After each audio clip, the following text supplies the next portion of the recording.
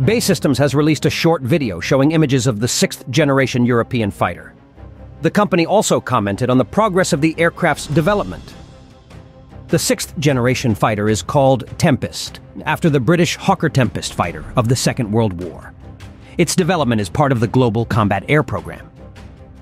Despite the appearance of these images, BAE Systems has not yet decided on the final design of the sixth generation fighter. Discussions on the aircraft's appearance are still ongoing.